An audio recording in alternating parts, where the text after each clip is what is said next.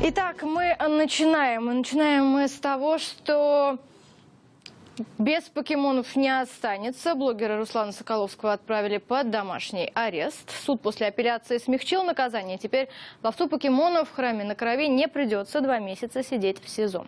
Заседание проходило в закрытом режиме. К зданию для того, чтобы поддержать Руслана, пришли его друзья и даже поклонницы.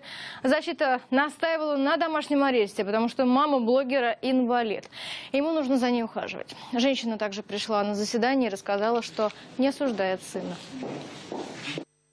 Вы осуждаете действия своего сына или поддерживаете?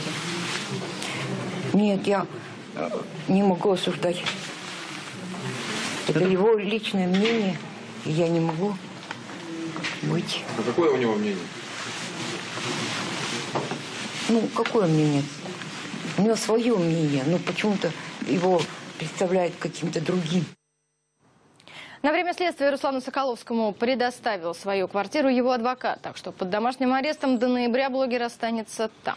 Соколовского подозревают в экстремизме и оскорблении чувств верующих. Как отмечают следователи, дело не в том, что парень ловил покемонов в храме, а в оскорбительном и нецензурном ролике, который он снял и выложил. Тем более, что готовился к преступлению Руслан заранее и таким образом хотел привлечь внимание к своему видеоблогу.